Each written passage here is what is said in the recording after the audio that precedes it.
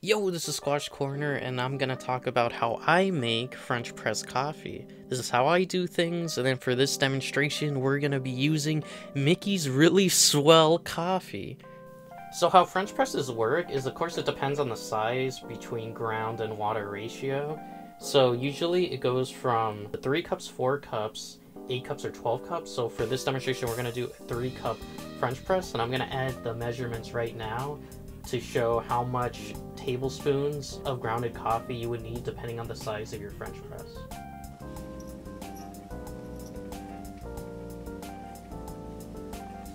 There we go, I'm using about two and a half. Usually I'm cheeky and I go for four tablespoons just because I actually am a coffee addict. And if I don't get my coffee, I get nasty headaches. So there we go. Next thing we gotta do is boil the water. Okay, I didn't really think about how funny this is gonna be because I actually have to record really fast because the water's heated and I don't want it to get cold and my cat is snoring. So first, now what we gotta do is we pour, oh my god, I have to be so fucking careful. we have to pour only till the top part of the grounds. Just for it to be on top of the grounds, and that's really it. So we're pouring on top of the grounds, and then just slightly stir it a little bit just to get the clumps out of the way. And then now we have to put a timer for 30 seconds, put this on top so the heat could stay intact, and wait 30 seconds. Something actually really funny is the reason we have to wait 30 seconds is apparently when you're doing this process of putting hot water on the coffee, a lot of CO2, I'm getting all scientific, a lot of chemicals get produced, and you want to wait for you you gotta wait a bit of time for that process to end for you to continue making that coffee. Alright, it has been 30 seconds. Gotta be very careful. it's been 30 seconds. We now are able to put the rest of the coffee. I finish it, I pour it until it fills to the bottom of that metal piece. So we keep going, we keep going, we keep going, and then I stop.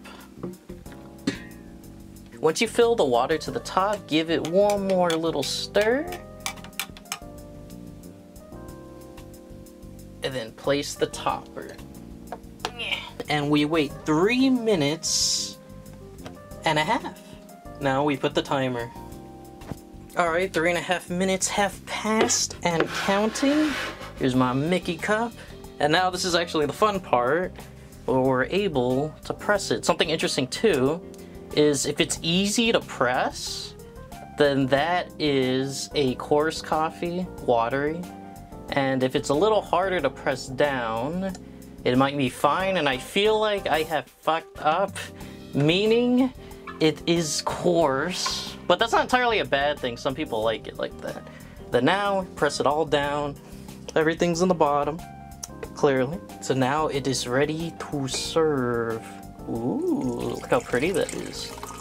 Ooh, that noise is nice, especially it's raining outside. So this is kind of a perfect time to have coffee even though it's like 12 in the morning. And there we go. Alright, here's the coffee cheers. So I did this correctly.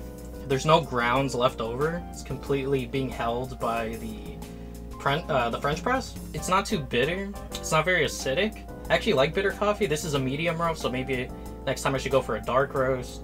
Or if I could change one thing about how I brewed it, is because I like bitterness, I probably would have added another teaspoon, no, tablespoon of coffee, and I probably like this more. If you have a little bit more time in your day to actually make a French press coffee, I recommend it. It's just way more, it's quality.